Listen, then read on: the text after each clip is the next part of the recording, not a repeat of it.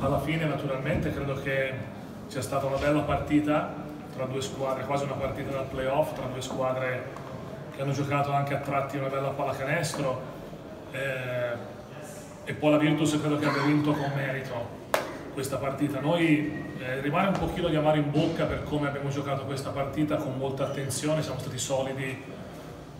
voglio dire controllandola, però stando molto,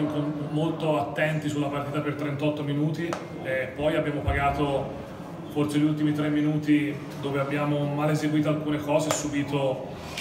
il talento di Bologna in alcune giocate. C'è un pochino di amarezza perché credo che la partita, se l'avessimo vinta, non avremmo rubato niente, però alla fine il risultato dice che ha vinto Bologna. Noi abbiamo fatto certamente dei passi avanti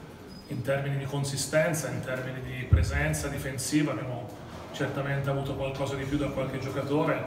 anche se poi devo dire che la presenza di Teodosi ci ha dato eh, un tasso di talento altissimo a Bologna. È naturale che per la pallacanestro tutta, gliel'ho detto anche a lui, è, è un piacere vederlo giocare, è un piacere che sia tornato a giocare. Avesse iniziato dalla prossima saremmo stati un po' più contenti,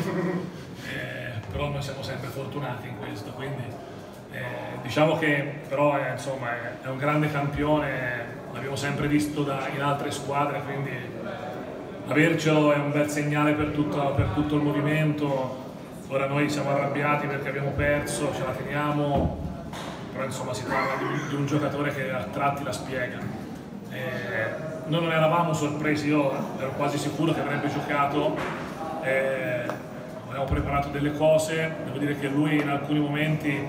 ha preso in mano la squadra, ma nonostante questo quando siamo tornati sul meno uno avevamo la possibilità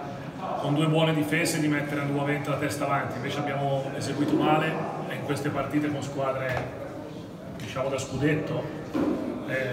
non te lo puoi permettere soprattutto fuori casa.